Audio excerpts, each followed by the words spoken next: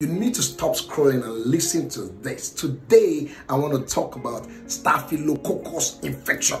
Ha! Staphylococcus.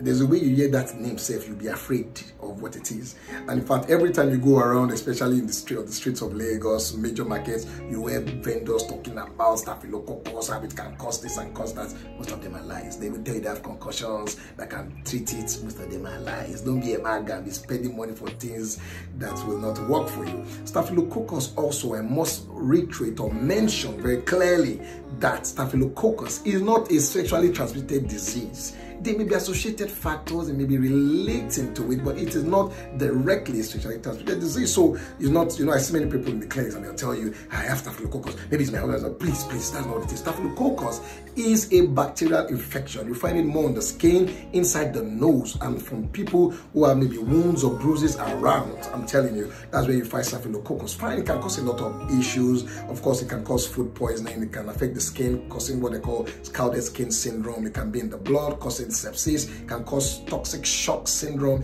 it can cause um, infection of the heart, of the bones, but it's by and large an infection that finds its way into your system when there are breaks in the body or maybe you're exposed to towels and all those kind of things from people that are infected already or have wounds from those things. That's how staphylococcus happens, okay? Please, I want to beg you, staphylococcus is not something that we'll say every day. Be talking about, some people say it can cause impotence, it can cause this, it can cause stomachache, it can cause all of that. Most of the time, they just say it to make you feel like you need to treat it. Now, sometimes the reason why you think you have staphylococcus may be because when you went for your test, your test said you did a eye vaginal swab or you did a urine culture and they tell you that you have staphylococcus. For some of you, the reason why staphylococcus is always persistently there is the way the test sample was taken, either in the laboratory or by yourself.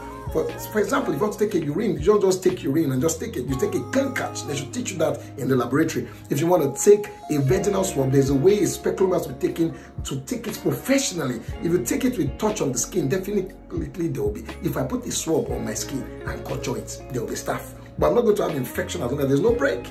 And let me also tell you this, instead of going around being a maga and paying for concussions, the simple treatment is antibiotics. Even if it is resistant to the common antibiotics, there are other antibiotics that are available that will help you treat staphylococcus. And when you treat it and you avoid some other exposure, staphylococcus is gone. So please stop letting them tell you lies about staphylococcus can cause this, can cause this, can cause this. If you think you have an infection, go for your check, do your test, get treated properly in a proper hospital, and I'm telling you, you can forget about it.